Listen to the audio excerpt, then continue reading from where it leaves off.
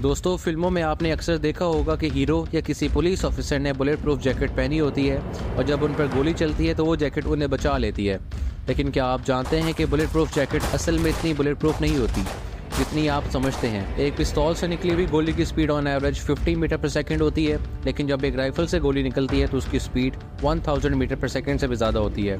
ज़्यादा bullet proof jackets जो आपको मार्केट में मिलती है, ज़्यादातर आपको पिस्तौल की गोली से बचा लेंगी। लेकिन आपको ए के फोर्टी सेवन से निकली हुई गोली से नहीं बचा पाएगी। ऑब्वियसली मार्केट में और भी ज़्यादा वैरायटी मौजूद है, जो कि उतनी ही ज़्यादा मोटी और हैवी होती है।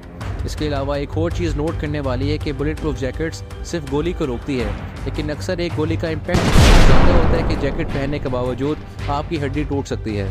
याद रखने वाली बात यह है कि ये बुलेट प्रूफ जैकेट आपकी चेस्ट और आपके बैक के एरिया को बचा सकती है, लेकिन आपके बाजू, आपकी टांग और आपके पाँव वनरेबल रहेंगे।